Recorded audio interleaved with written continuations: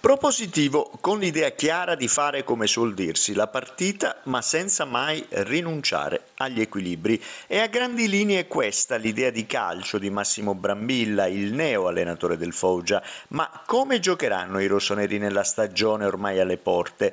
Nelle ultime due stagioni l'allenatore di Vimercate ha fatto del 3-4-2-1 il suo marchio di fabbrica, in verità la difesa a 3 è un mantra dell'allenatore che l'ha adottata anche nelle sue precedenti esperienze tra i baby d'oro dell'Atalanta, sulla scia di un modulo peraltro caro a Gasperini, guida tecnica della prima squadra aerobica.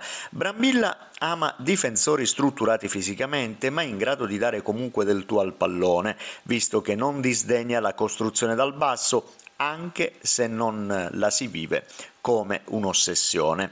In mediana grande importanza rivestono i due quarti, devono necessariamente garantire spinta ma avere anche capacità di ripiego nelle fasi di non possesso, in mezzo invece spazio a qualità e dinamismo con il doppio play, fin qui le zone di equilibrio, mentre la fantasia viene liberata dalla tre quarti in poi. Brambilla predilige il doppio trequartista a ridosso della punta pura, ma all'occorrenza è capitato di ricorrere anche al classico 3-5-2 con due attaccanti davanti. Nel 3-4-2-1 però ricerca profondità nella punta centrale, spesso fisica, vedi Pecorino due stagioni fa, pochi metri più dietro, via libera fantasia e imprevedibilità.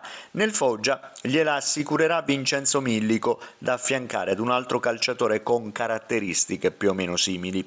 Concetti di base sui quali lavorare in chiave mercato e che andranno poi affinati a partire dalla seconda metà di luglio, quando col ritiro precampionato comincerà a prendere forma il Foggia edizione 2024-2025, targato appunto Massimo Brambilla.